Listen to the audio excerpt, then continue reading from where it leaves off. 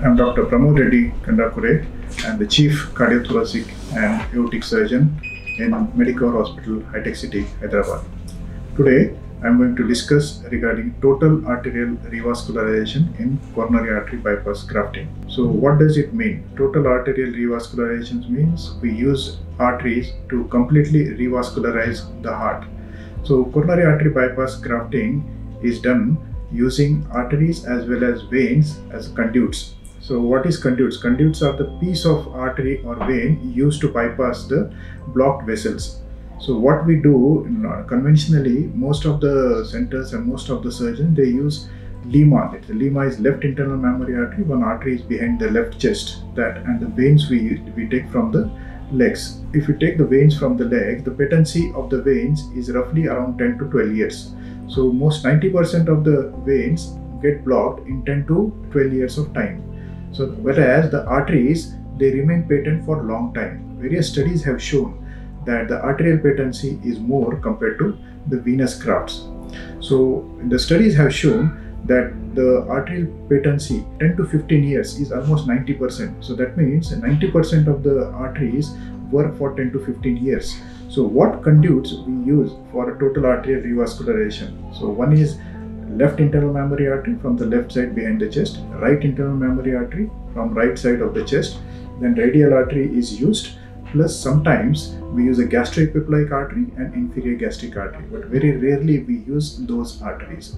So left internal mammary artery and right internal mammary artery are commonly used followed by the radial artery. When we used both arteries right and left internal mammary artery sometimes when the like two vessel disease and two or three bypass grafts are only required we can use both the arteries and we use it as a sequential graft so that no extra uh, incision or no cut is required on the hand. But if like more than two or three grafts are required or bypass uh, anastomosis are required then we have to take a radial artery. So these three conduits we use most commonly in our uh, setup and uh, we do the surgery. So the conduits which are used can be used as a, a free grafts or you can be can be used as an in situ or we can anastomose it as a T or Y graft. So most commonly depending upon the where the lesion is there, we use like right internal mammary artery, we can connect to the uh, right sided artery or left sided artery or left side artery also we can use it on the left side.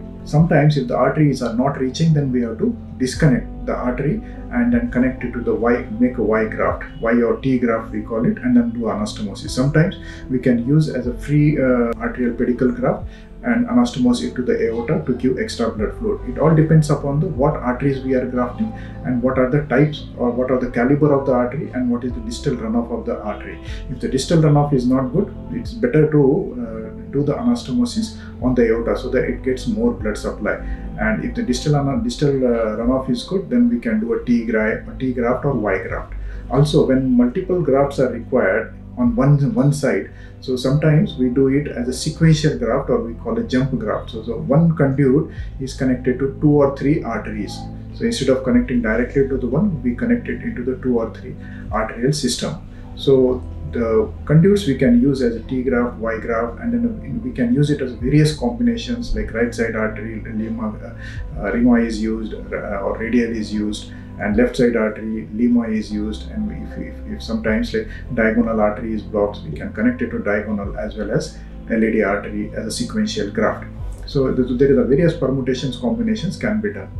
Also this surgery can be done in minimally invasive also. So we take a lima artery and then we take a radial and we, we can uh, do use it as a free, free graft or we can uh, use as a direct anastomosis to the aorta or making a Y anastomosis or T anastomosis and doing a bypass graft. So two or three bypass grafts it is required, still it is possible.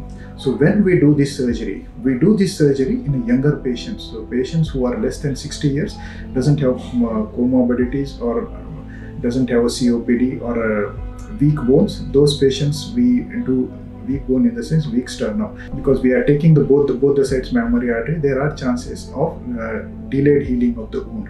But we have a particular technique that we, we call it a skeletonized. We remove only the artery from both sides keeping the uh, veins and the collaterals intact so that the blood supply is maintained. Plus we take a special precautions to close the chest. Instead of using wires we use bands these uh, arteries, which the clinical experience shows that Lima and Rima they secrete the nitric oxide NO, so which causes dilatation of the artery and then prevents atherosclerosis and it prevents uh, early blockage of the arteries. So in some studies, there are various studies are done. There they compared the arterial and venous grafts, and then arterial grafts are more superior compared to the venous graft. So we try to use it arterial grafts more frequently in younger patients if you put a venous graft in a younger patient, then the chances of getting blocked and then further reintervention rates is high. There are some studies which have shown that the long-term results of the arterial grafts are much better or it's equivalent to the stents, like drug-eluting stents. So in younger patients, we recommend going for the total arterial uh, bypass grafting, which can be done in our center with good results and its long-term patency is very good. Thank you.